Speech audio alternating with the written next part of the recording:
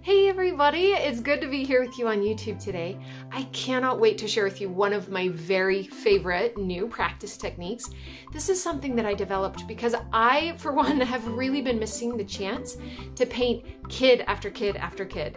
I feel like when you're on the job and you mess up or you have a little bit of a wiggle, uh, you have to just keep going because there's a next kid in line.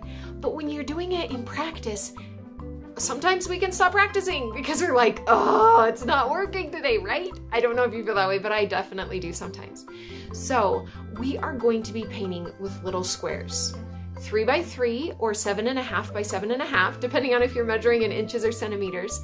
And you can see how much fun these are. We're looking to create practice for when we are doing a cheek design or a forehead design or even by the eye.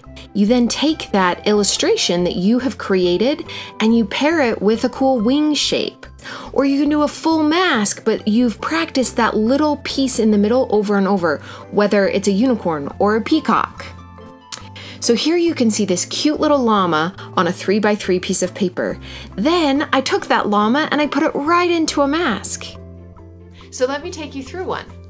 We want to start with a stack of papers. We don't want to have just one, so that if we get in the middle and we don't like it, we can start over. So here's a cute little koala that I did, and I'm so excited for you guys to see how I did it.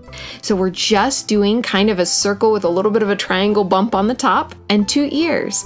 Filling those ears in with some pink and a little bit of pink down for the mouth. Now I want to make this a girl, so I'm to add a bow, kind of Minnie Mouse style. Here we go. And super cute right over by one ear.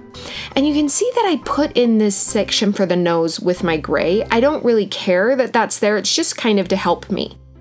So we do a dot on either side of that nose and add a little smile, you can see like this is, doesn't have to be hard. And you can look for examples in clip art or, you know, on Pinterest, like wherever you find that um, inspiration, and then you can just make it real. So I'm just outlining everything, doing a little bit here and there.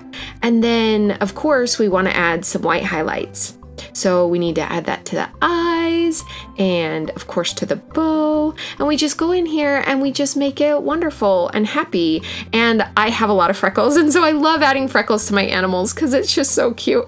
But you can see that there's just a nice happy little koala now and it go goes so well we can even add a little collar to it sometimes um, the head alone looks a little uh, scary and sad. Um, anyway, and so now we have the little boy koala and the little girl koala, and they go together so nice. And then you can just keep going. Set this one aside and get the new one. And then pretty soon, I mean, look what happens. You just end up with all of these animals, and you're like, oh, I want to try that. I want to try that. I want to try that. And they just keep coming.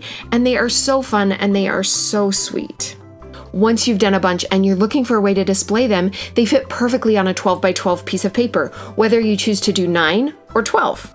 I can't wait until you guys make some of your own, and I would absolutely love to see them. If you're feeling lonely, please join our group, Learning with Laura. Up there is also a really fun new thing we're doing where you can exchange some of these. Love you guys. Hope you're having a great day.